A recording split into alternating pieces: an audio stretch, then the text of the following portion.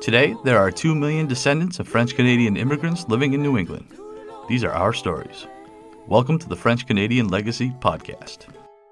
Venez tous jeunes filles et garçons, je vais vous raconter l'histoire de notre immigration ici au USA, de grands aventuriers de pays.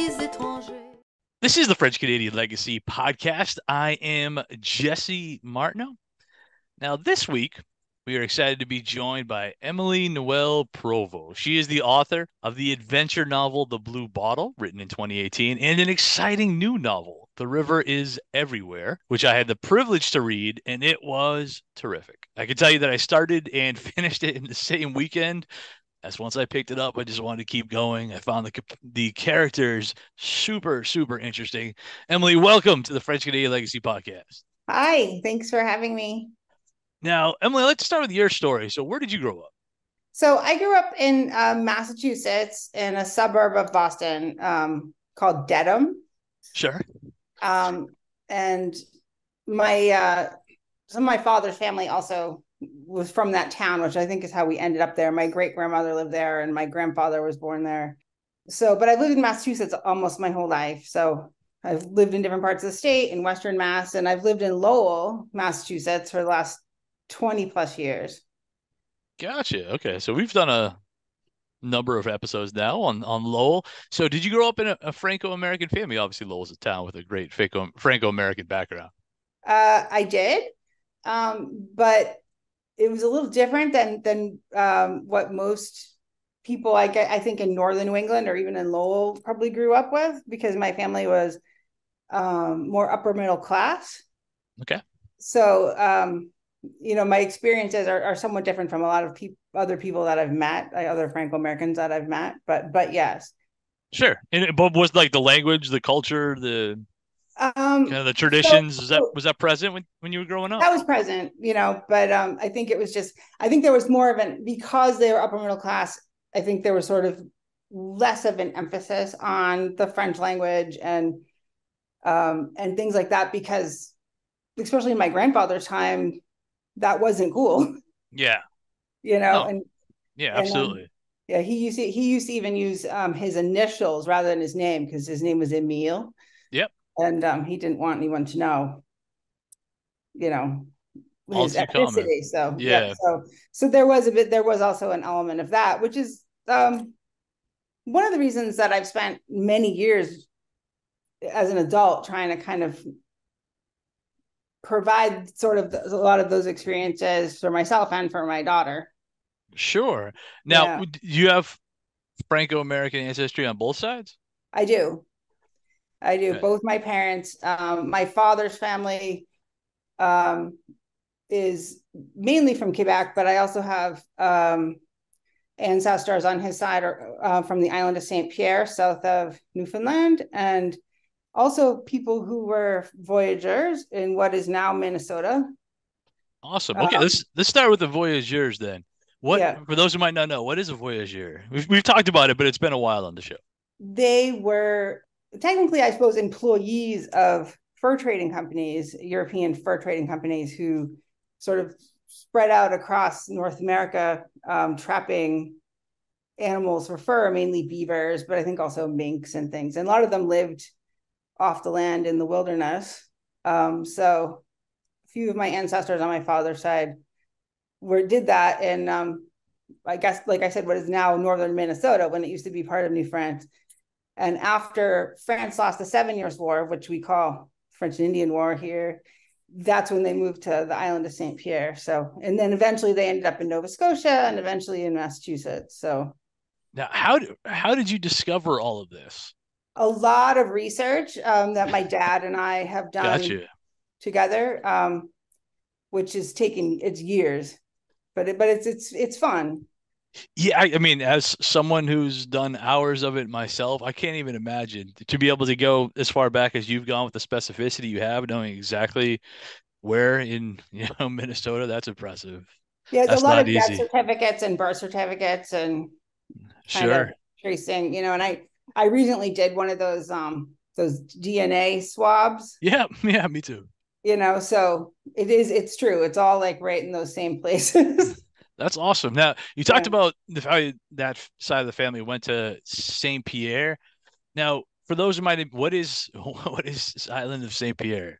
So it's actually two islands, and actually there's more than two. There's two large ones. Uh, the the I always pronounce the other one incorrectly. I think it begins with an M. It's like Miquelon. Um, but Don't they're know. south of they're south of Newfoundland in Canada, but they're actually still part of France. They're French. It's a French territory, um, and it's the only thing, from what I understand, that France held on to after the Seven Years' War. Uh, that's all that's left for Is there's, there's two islands? is these little islands. Have you ever been? I've not, and it's I I really would like to go, but it's not an easy place to get to. I would you imagine. You can either take a boat, I think, from Newfoundland, or you can you can. I think you might be able to fly there, but you have to go to Newfoundland first. It's it's um, it's I don't think it's that accessible. I mean, I think it was actually um like a fishing village. Sure. You know, it's like that was the point of you know why why they uh colonized it in the first place. But I I don't think even a lot of people live there now. But it did come up on my DNA map. oh yeah, I bet. No, that's super interesting. Now, do you know why your family on that side came to the states? Um, well, they, I think mainly because of economic opportunities. I think there just wasn't um, either in Quebec or, or Nova Scotia or Saint Pierre. Um, there just wasn't a lot going on, and this was in the mid to late 19th century when Gotcha. you know during like like with many people during the Sure. Industrial Revolution. So Yeah, I mean, it would just seem like it, it's cool because that's not a, the typical story. We get normally the, the people coming down from Quebec at that time, and you have the whole, you know, stereotypical farm to mill kind of yeah, process. I mean we I mean we also had that, except like I said, my my family isn't complete very also very typical because my great grandfather who did come to uh, from Quebec came to Lowell actually to open a barber shop. That's cool. He, he was a barber. He came here to open a barber shop to cater to the people who were working in the mills. I bet. I mean, and the fact that he was a French speaker probably helps quite a bit, I would imagine. And you know, to this and to this day, my father claims that's why my family, at least on his side, was upper middle class because he had his own business and he kind of passed that down. That's awesome. So, That is so, very cool. yeah. Now, how about your mom's side? So my mom was actually from Michigan. Gotcha. Okay. Yeah, she grew up in Detroit. Uh, my grandfather, her father, um, is a his his mother was a Métis. And And, uh, and what are Métis for the, again, something we have Um, talked about, just not in a while here. yeah, so they are um, Native Americans who are kind of um, were converted to Catholicism by French missionaries um, a long time ago. I mean, I don't know a lot about the, the like the length of time, Sure. but his mom, my great grandmother, was a member of that ethnic group. And they're mainly in Canada, but there's also populations in the northern and northern Midwest, upper Midwest. So, Very um, cool. Have you been able to connect with any of them? no, you know his his, my, his side of my family is um, been uh, much harder to to trace. Gotcha. um, there is isn't a lot of information out there. So my, my mom's side in general has been been more difficult because I, I think her family um, wasn't quite as upper middle class. You know, they were more working class people. There just wasn't Sure. a lot of records, um, and uh, so so that's been tough. I mean, I think that whole, honestly, I think that story is incredibly fascinating because in a lot of ways it is very, you know, typical of a lot of people we've talked to before with the, you know, immigration for economic reasons, moving into Lowell. But how, first of all, how your family got there is very, very different than most. Yeah, And the experience once they got there, again, is very, very different than most of them we talked to. it is very different, and I think, like I said, that's one of the reasons why I feel like in some ways I've kind of missed out on a lot of the cultural experiences that other people I know, other Franco Americans I know, have had because it was a lot of that was really downplayed to sort of blend in. Sure. Do you speak any Yeah. French at all? Um, not well. I can sort of understand when people say things to me. My grandparents, my grandparents spoke it, and my great great my great grandmother also. My parents did not, which is also I think pretty typical. Yeah, same as me. Both my parents' first language and never taught me and my sister. Yeah. Oh yeah, Probably. that's very typical actually to not even want you to know. I have a I have a friend whose parents sent him to Catholic schools that weren't French because they didn't even want him to get that close to to learning it or to even hear it, you know. So there's sad, that moment. for sure. Yeah. But before we get to talk about the new novel, which I will obviously, I'd like to talk about the first work, The Blue Bottle. So before we get actually talking about the book itself, what made you want to write it? So that story, um, it's a it's a story for kids, so maybe like age eight to fourteen. It's a novel, and it was a story I I wrote for my daughter. I have a daughter, um, Madeline, who's she's going to be twenty five this year, and uh, she's a great kid. I just it just just weird to think that she's actually an adult person.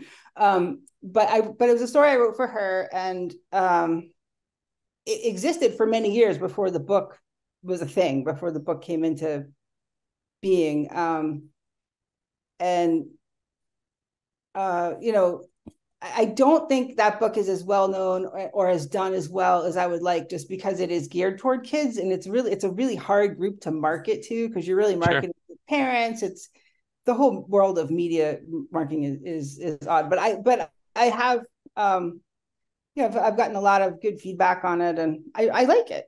It's a great Now- book. Yeah, you said you, you have a 25 year old daughter. Now, is your daughter at all interested in any of the Franco American past history? Yeah, very much so. Actually, she's Really? very, interested in it, and has, um, along with me too, has helped me do research and and uh, you know things about our family. And she's, you know, she speaks French much better than I do. All right. Now, first of all, uh, one thing I was before we move on from the from the the blue bottle, you you noted that it was geared towards kids, and some of the reviews I read, it talked about how scary the book was. What made you want to write a scary book? You know, I think kids like stuff like that. You know, like that. You know, if if you if kids feel like you're dumbing something down or like making it like you know quote unquote for kids, they just they're not interested in it.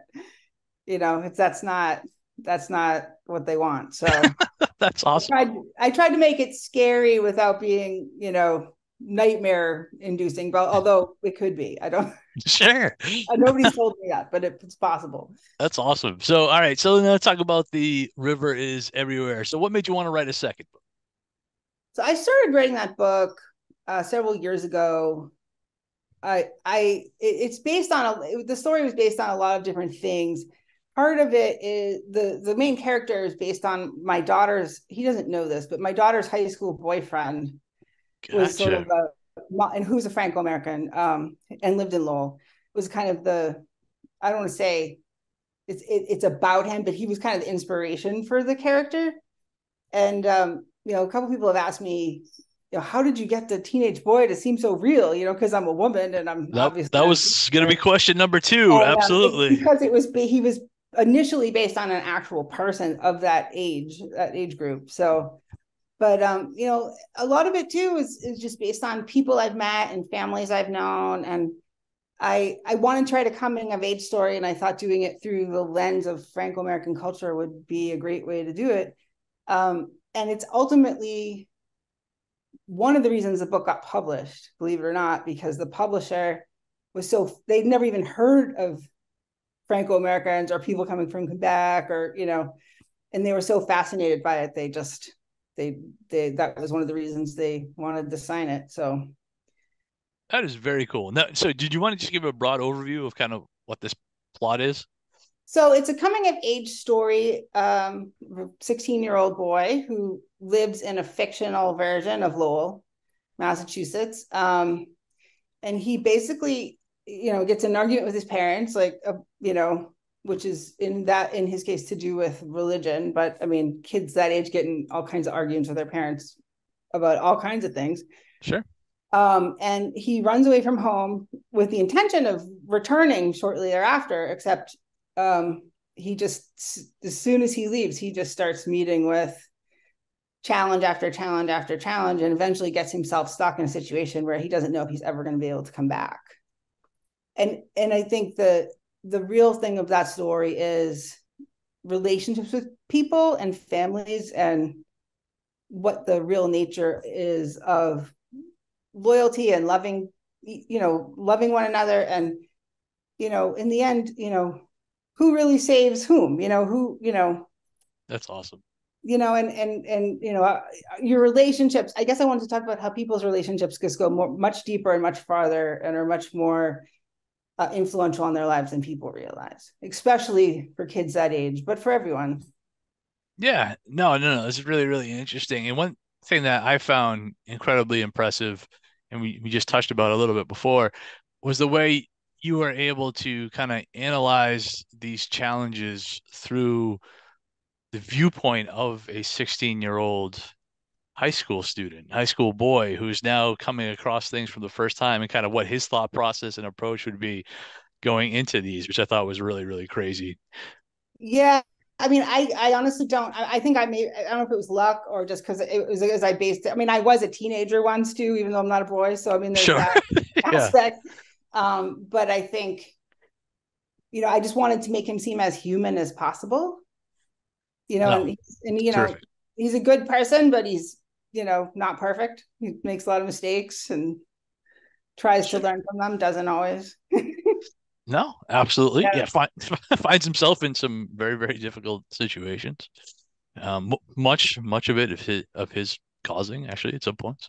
At some but... points, right? and, you know, and I think it also speaks a lot to human nature. You know, like some some people just are not good people, and you know, how do you deal with that, and how do you learn how to deal with that, especially when you're stuck in the middle of a situation that you have no control over. So, sure. Now, I wanted to talk about a couple of the critical praise this book has received because it comes from couple of names that'd be very familiar to the listeners of this podcast. Yeah. So first, David Vermette, obviously we've had on the show a few times, the author of the amazing book, A Distinct Alien Race, The Untold Story of Franco Americans.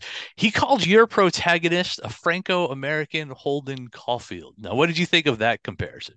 I thought that was awesome. I actually sent him an email after he, after he was kind enough. He spent and, and and he's a very busy person. Oh, for sure. entire weekend reading the manuscript, the uncorrected proof, which you know, still had errors in it, to, to to give me that quote. So I mean, I was so so grateful. And um, but I I I think he is a Franco American Holden Caulfield you know and, and and rather than being a rich kid like david said he's just a regular kid. And i think that that's one of the reasons why he's relatable.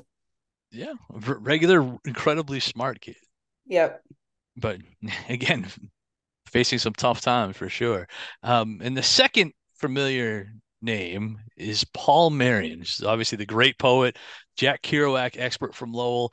And in his in his praise he noted that the he was heartened by the fact that the decision that the story was set in the Franco-American cultural experience.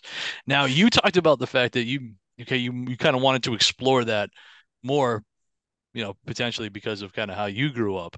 Um, how did you go about, you know, that research part? Like, how did you go about making sure that you set this person in that Franco-American world?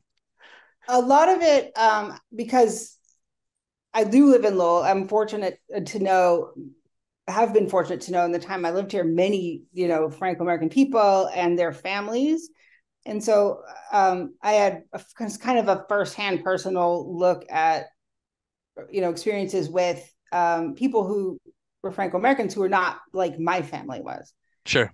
You know, and I think that that was extremely helpful. Um, and Paul Marion himself um, was very helpful to me I've known him for a long time, and um, I was the editor of a local magazine for many years.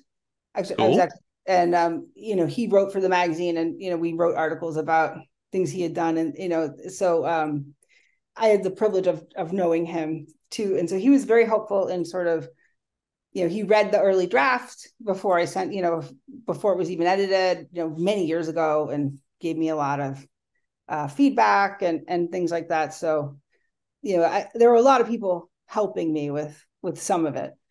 That's awesome. So a couple of specific things that I was kind of taking notes when I got to a couple of things that made me smile as I was reading through the through the experiences of this character. Um, one is obviously there's a discussion of Tourtière in Raisin Pie, and I've spoken quite a bit about Tourtière. Big fan of Tourtière. Raisin Pie was new to me. What what is raisin pie about? I was not familiar it's with this. Exactly what it's. yeah, because this is not, not something I've come across before. Yeah, it's exactly what it sounds like. Mm-hmm. And if you don't like raisins, you'll you'll know. Now, but I really think it came out of um, just people not having any money. You is know, that typical to a a region, or because I honestly I am not, I'm not very familiar. Probably to Acadia. Gotcha. Yeah, right. than it is to a lot of people in Quebec, but um, I think the, the the part of that book that you're referring to, he is in yep. Acadia. He's in New Brunswick, so right. You know, I think, but but I think there's also a lot of crossover between the two places. Oh, for sure. Yeah. And and why? I guess maybe that's a, a transition for this one then. Uh, why New Brunswick? Because obviously you've you've come across there's a there's a, a gentleman, the main character with a Franco-American background. He comes across another you know Franco-American on his journey. Why not Quebec? What made you want to do it in New Brunswick? You know, I I that's a good question. I'm not entirely sure, other than the fact that I wanted to, a setting where it would be okay. I felt okay to just like sort of um, make stuff up. Uh, sure. To to create a setting in a real place, and I and I, I I think I felt like I was too familiar with Quebec to do that well. Gotcha. You know what I mean? I wanted. I wanted. I mean, there are some things. I mean, it's a real town that he yeah. you know that he goes to and there are some things in the town that are real that i put in the book but um i wanted enough i wanted enough leeway to kind of make it fiction and i think i know um too much about quebec to to to uh, to maybe I avoid putting details in and things that might have tripped it off i don't know it's it's a No, it, it's just interesting for me because when I when I was reading it, um, when I came across that character, I just flat assumed, made the quick assumption that he must be from rural Quebec somewhere. It didn't never didn't occur to me that this journey would take us uh, to New Brunswick. So. You know, and I also in, in terms of him of that character of Roland, I, I actually thought it, it might to me it made it to me it made him seem like a little more exotic, like sure you know, ooh, New Brunswick, you know, but I mean, I really thought, you know, maybe it might, and, and different in a way too than Ernest. Gotcha. Um, similar, but different. Now, have you been to this town? I have not. I've been to New Brunswick, but I have not yeah. been to that town, and I'm afraid to go. Like, if anybody there reads the book, and they'll be like, "What are you doing?" But uh, how did you pick it then? Um, on a map. I actually, I okay. I actually had a map, and I because the way that I wanted the story to go, I thought, well, it can't be too far from the border, and it can't be too far from Quebec, and and it, you know, I checked out what the population was, and it just seemed like, yep, that could work. So that's what, and it, you know, and it and it does, I think. No, that's awesome. Uh, one thing that came up in this book is the family blessing on New Year's Day, which has come up in this podcast, just not a whole lot. How are you even familiar with this? How did you come across this tr- kind of tradition? It's an old tradition. My parents, yeah. my mom's family used to do it. Yeah. Yeah, and my mine did too. My father. Oh, really? Yeah. Oh, very cool. All right. Um, but not, you know, not so much when I was a little kid, but like when my father was a little kid, and his and his um siblings, my grandfather and my grandfather's uh parents. Um, so I knew about I knew that it was a thing. Sure. Know, and I wanted I wanted um the family in that book to be very traditional. So you awesome. know, I I wanted that's why I, I put it in there. And and also a lot of these things too weren't just for my sake. I wanted people who read this book, whoever they might be, to sure. know about these things. I want the, you know, I want to put it in the world, you know, because if, if there are Franco Americans that don't know about it, then I'm sure not a lot of other people do. Yeah, no, of course. No, absolutely. Yeah. I think it is awesome that people can come across these traditions that they might not be familiar with. But even from my perspective, as somebody who is familiar with it, I didn't grow up with it either. My mom's family did. Um, but to come across something that is familiar, I think was really, really cool to help you yeah. draw the connection. Because, like you had mentioned before, there's not a ton of that, especially in fiction, where you have characters who go through these type of experiences. Right. And I think part of the reason for that too, at least for that um, aspect of it, the blessing, um, is because I think many people, both in Canada and and here, are no longer really uh, follow uh, organized religion very closely. So I don't, I just don't think it's as important um, in people's lives as it was years ago either. Sure. Um, I, I guess that's interesting then, because talking about religion, because the obviously your main character has his issues with the religion right from the very beginning, right? But he ends up in New Brunswick in this very religious right kind of setting. And was that the kind of the intention all along that you knew you were going to play on no, that religion? It was the intention all along, and I think in my mind, um, even though he sort of rebels against the religion that his parents, you know, that, that he sees his parents practice or that he, he that he grew up with I, I don't I don't think I ever bought, and I don't know if any of the readers have, but I don't think I ever bought that he was really an atheist. He thinks he is, you know, but when it comes right down to it, he isn't, you know, and but he's just trying to figure out what that is, what he believes, and what, um, you know, what's real for him and what has meaning for him, and what maybe is BS. Yeah. Because, because some of it is, you know, obviously, you know, a lot of the stuff he sees his mother doing, you know, he thinks is crap. But like when it gets right down to the grid of things, you know, I think it, it helps him. A lot of obviously his approach to religion is heavily influenced by what happened to his best friend. Yes. Re- really, really early on. Yeah. So I think I think that event, um, his friend dying, I think that event um really makes him rethink everything you know and that's sort of the premise of the book because um I think in almost everyone's life, there's an event at some point, you, you know, death or, or something else that happens that really makes you question, well, maybe none of this is really true. Maybe none of the stuff you've been telling me is sure. real. And, you know, and um, yeah, so that's actually what starts the whole thing of him just questioning his parents' religion and you know whether or not God exists and whether it has any relevance to anything, you know. And I think that that's the main one of the main themes of the book. Now, um, one more, I guess, thing I want to talk about with the family in New Brunswick. Um, family works in a lumber yard and involved with some, you know, making of maple syrup. And there was some pretty detailed, like, kind of imagery of what those places kind of look like. Did you go to either one of those? You been to a lumber yard or a place where they produce I have maple been syrup? To, I have been to places where they make maple syrup. I've never done it myself, but um, gotcha. I've been to a lot of places where they do, both small and large. Um, and I've never been to a lumber mill, so that's completely like I don't know. like like the machines that they use are real. I mean, I, I mean, I did research, sure. but you know, I just tried to make it as real as I as I you know when I imagined what it would be like in my mind. That's what I tried to get across. How dangerous it was and loud and dirty because I'm I imagine it's all of those things. Absolutely. Saint Christopher makes a makes an early appearance, I'll say, so, in the book, right. but he kind of he's kind of ling- his his presence kind of lingers for a bit. Right, and I think that that you know when he he um I don't know if you're familiar with the story of Saint Christopher, but he's, sure. a, the patron and saint of travelers, and yep. um, he became a saint because he carried the Christ child across a river. Yeah, and so in some ways, I wanted to kind of connect Ernest with Saint Christopher when he saves the girl from the river, and you know, sort of embarks on this journey to try to maybe make the world a better place in his mind. And that's yeah, the one thing that sticks with him the entire time. Is Christopher. Yeah. And I thought it was kind of interesting too, because if, if I'm not mistaken, Saint Christopher is is he even really a saint anymore? No, and that's the other reason why. That's why I thought it would really fit yeah. with your character. And he's also the patron saint of travelers, and I believe he might be the patron saint of New Brunswick.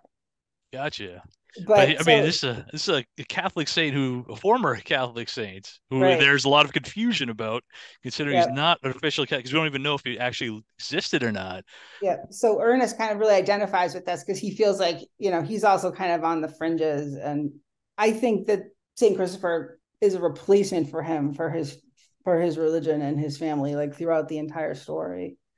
That's all. And what other things did you have in this book? Then? Um. So that was the that was kind of when I was writing it, like that was sure. the main the main um the main thing. It was interesting the fact that you have this former saint around whom there's a ton of confusion. And mm-hmm. then you have this kid who himself is not really sure what to make of this whole his religious uh, family and his what the right. role of religion in his life. You know, I thought it was cool. Yeah, and there's also you know the whole um you know, I mean, I think he really believes that that he this is why he doesn't die, you know, because there's a lot yeah, of parts for sure. where you know he could have potentially been killed, and he and he attributes that to to wearing the medal, you know, this, yep. this Christopher medal. So, which is a belief I don't think he would have possibly even contemplated would have been possible, like when he right. headed out when he left, right to begin with. No, I don't no. think so. That was very, very cool. So, like I said, this is a terrific book. Where can we send listeners to go to get to get this book? So this book um, is available on, you know, online um, on Amazon and Barnes and Noble, and uh, I believe also IndieBound and some other uh, um, bookshop.org, like some more independent sellers. It's also available um, from the Lowell Book Company, which is an independent bookstore in Lowell and people who don't live near Lowell or who don't live near me can also order can also um, order signed copies of the book from the Lowell Book Company. Cool. Because I, I have a relationship with her, so that we've we've already I've already sold a several signed copies just through her. That's awesome. Store so now is and she ships them, so you can live anywhere and she'll ship them, and it's also available in any all you know globally. Okay. Yeah, we'll provide any kind of links in the notes yeah. for the for the podcast yeah. for sure, and definitely put it out on our social media, uh, kind of leading up to the episode. Now, is there anything you are working on now before we let you go? Yes. So I'm working on three different manuscripts. Because work's not enough. Yeah, we do three. Which was not on purpose. It just it just sort of happened that way. Um, so I'm working on uh, another um, literary fiction novel, I guess you could call it, um, w- which also uh, features a Franco-American family, and um, it's currently set in Vermont. But I I'm I'm kind of going back and forth with the idea of making it in Western Massachusetts, which is or Manchester, New Hampshire. Sure, whatever, it's fine. Yeah, that's my hometown. Yeah. That's right. Um, it's not far from where I am. Um, yeah. So, so I'm working on that, and then I'm working. I decided um, during the pandemic that I wanted to try uh, to write a, a, a romance novel with Franco wow. characters. Okay. So, um, I've been working on that kind of on and off, and lately more on because I just want to finish it. But it's set on the Isle of Orleans, off the in the St. Lawrence River near Quebec City. It's one of my favorite places on earth. Isn't yep. it cool? Absolutely. So, yeah. So, so um, I wanted to write a romance novel for smart people. You know, okay. like that's a very un- romantic place. But, yeah, and, and most of the most of most romance novels are unreadable. So I so I decided to write a romance novel that I would want to read. Gotcha. That's my that's my current project. Um, and I'm also writing a nonfiction, working on a nonfiction manuscript um, about the White Mountains in New Hampshire because I also hike all the time when I'm not writing. All right, this has been a absolutely amazing episode. We've been talking to Emily Noel Provo, an author of the amazingly fun uh, new novel, The River is Everywhere. Emily, thank you so much for joining the thank podcast. Thank you very much. Now our fathers look at us and sigh with despair to think that everything they love we simply do not share. But the spirit never dies, our culture will survive. Each of us must choose how much to keep alive. Each of us must choose how much to keep alive. Special thanks to Josie Vachon for providing the music. You can find more about her at josievachon.com. This podcast was produced and edited by Mike Campbell. If you have any questions or comments, please email us at fclpodcast at gmail.com. You can also follow us on Facebook, Twitter, and Instagram at FCL Podcast for more information about the topics discussed. If you enjoyed the show, please subscribe and leave us a review on iTunes or wherever you listen to this episode. Malheureux.